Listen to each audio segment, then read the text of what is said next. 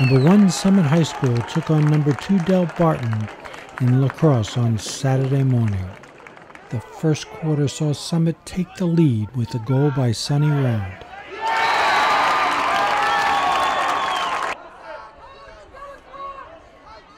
Cole Riccardi of Delbarton tied it up minutes later.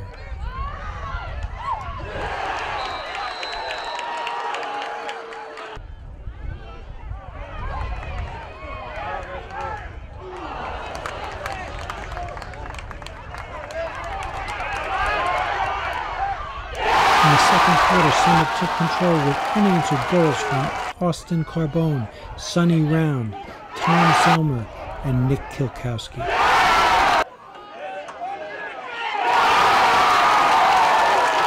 Finally, late in the quarter, Clay Harmon scored for Delbarton, making the score 5 to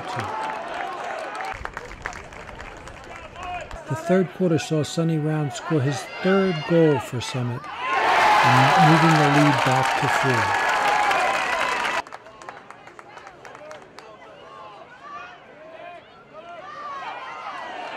Clay Harmon scored for Delbarton, but Terry McKenna made the score 7 to 3.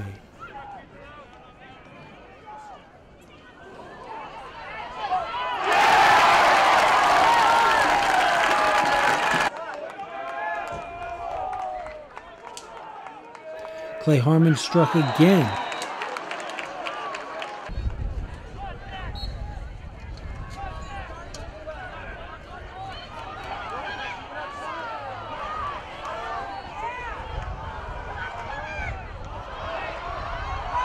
And Jack Monroy followed with another for Del bringing the Green Wave back into the game.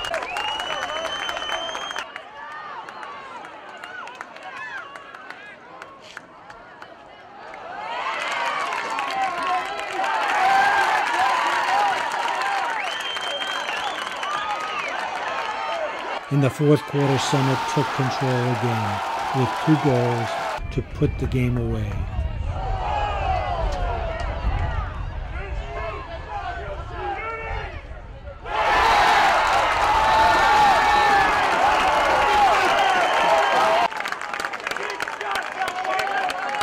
Summit wins 9 to 5.